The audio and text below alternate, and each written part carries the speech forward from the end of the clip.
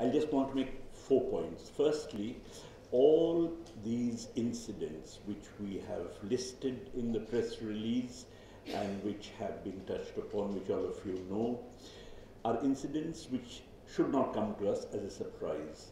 We have at this moment in the country a group of fascist elements who are in ruling positions. We do not have a fascist state, mercifully. If we had, I wouldn't be speaking to you here. But on the other hand, if you have fascist elements in power, then it's not surprising that they would like to proceed towards the construction of a fascist state. That's exactly what is happening. A part of this process of fascification is the destruction of reason.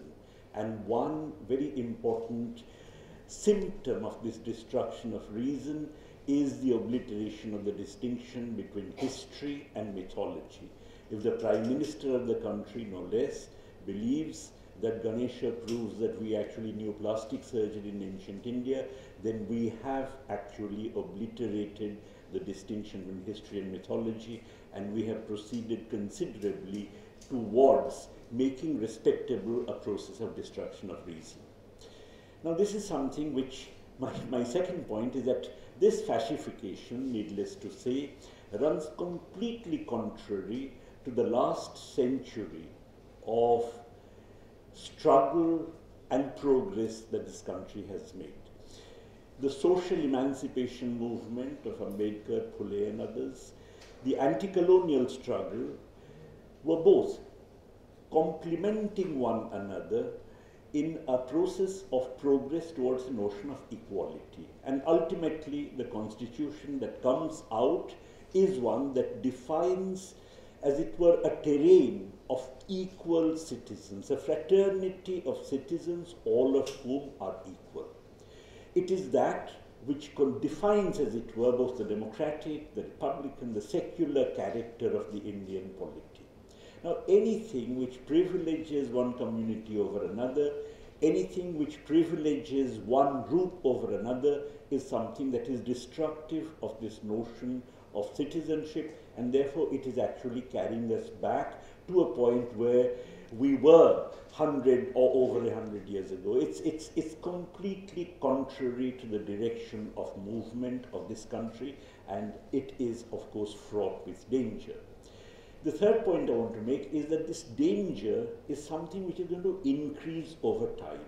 Irfan Saab drew the analogy with Nazi Germany, and it's, it's, it's quite important that Nazi Germany, or Germany became Nazified because of the acute economic crisis of the 1930s and the mass unemployment it had generated. Now, it is a fact that the Indian economy too is one which is progressively slipping into an economic crisis in which even the kind of jobs that were being generated for the middle classes, let alone the poor, we know that peasants have been committing suicide, we know that the working class has in fact been ruthlessly suppressed during this period, but forget about them.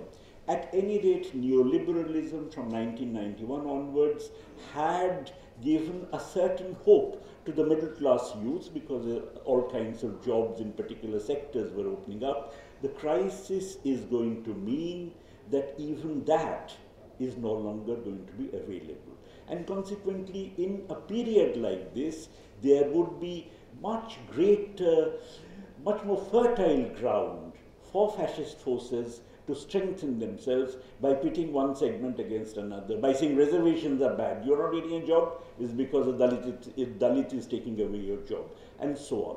And of course, at the same time, as far as the rich are concerned, they would. The corporate capital is concerned, in a period of crisis, they can make themselves better off by appropriating other people's property, exactly like the land ordinance promises that they would.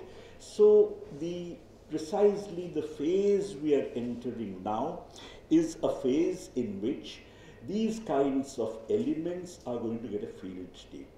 The fourth point I want to make is that against this, the kind of resources which are required for a struggle, for instance, the intellectual resources required for a struggle, are resources which are systematically being destroyed through the destruction of institutions. You know, institutions are very important because ideas come from universities, ideas come from institutions, and if you destroy institutions, then fundamentally you become dependent on the advanced countries, dependent on Europe, dependent on America for borrowed ideas. And those borrowed ideas are not going to tell us which way to progress as far as our society is concerned. And therefore, these people who talk most in terms of, of, of, of, of India's glorious past are the ones who really are responsible ideologically for the subservience that this country would be having in the coming years towards uh, the metropolitan countries, towards the metropolitan societies.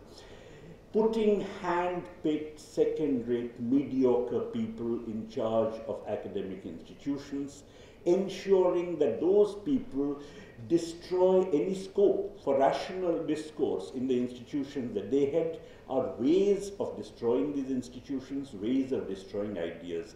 Ultimately, it is anti-colonial ideas that give rise to anti-colonial struggles. It is anti-fascist ideas that give rise to anti-fascist struggles. And with this destruction of ideas, then the scope for struggles thereby gets attenuated. And consequently, before the fascification of the society proceeds any further, it's important for all of us to stand up and oppose it. Thank you.